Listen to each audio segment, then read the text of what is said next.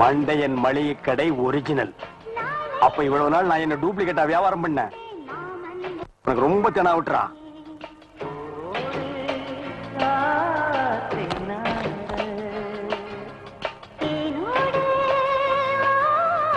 டேய் மூணே நோட்டை திருப்பி திருப்பி எண்ணாதடா கிழிஞ்சு போயிரும்.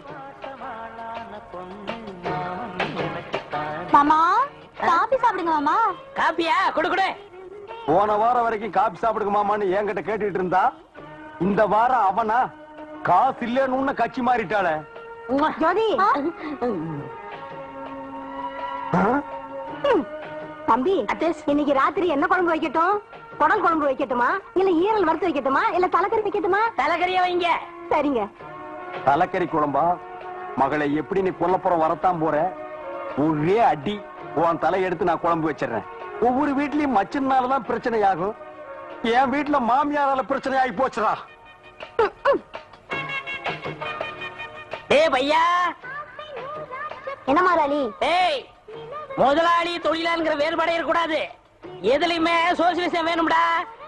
மத்த மடைய மாதிரி தொழிலாளிய பார்த்து நான் ஏன் திட்ட மாட்டேன் புரியுதா.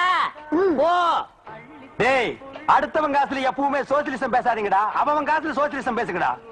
ஏ பையா முந்திரி திராட்சைன்னு எது வேணாலும் அள்ளி தின்னு. வேலைக்காரன் தின்னது போத்தான் வெளியில விக்கிறோம்னு கொள்ளை உடையவனா யாரு எதை பேசுறதுன்னே நாட்டுல விவசாயம் இல்லாம போச்சுடா. கடையில என்ன இருக்கு? கடை மட்டும்தான் இருக்குது. நாமகிட்டி இருக்கா? எது? நாமகிட்டி நாமகிட்டி நாமக்கல் சிக்னல்.